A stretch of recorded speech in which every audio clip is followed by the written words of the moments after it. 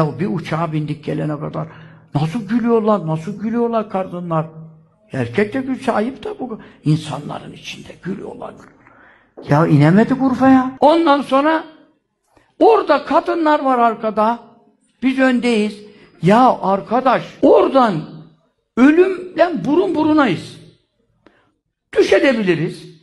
Siste görmez vurur bir yere. İniş yapayım derken piste çakılan da var. Bu kadar haber var. Yani uçakta zaten insan pek günah işlememek, günah işlemeye çok müsait bir durum yok. Bazıları tabii günah her yerde işlerler. Bu ayrı dava. Çünkü uçakta içki içen de var. Yanına sevgilisini almış haram karıyla tutuşan, tok- efendim sarılan, öpüşen var. Harama her yerde haram yapmak isteyene var imkan.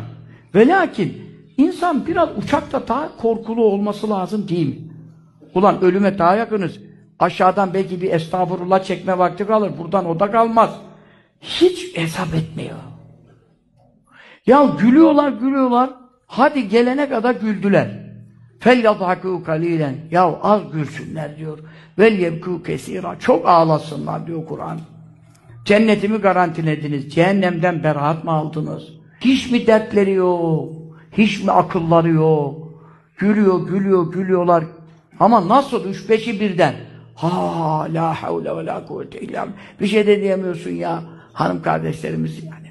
Ya da kadının kadının biri onlara kadın demesi lazım. Tabii biz erkek olarak kadına konuşmak münasip olmuyor caiz. Fakat ondan sonra dedim 10-15 dakika biz indik inemedik.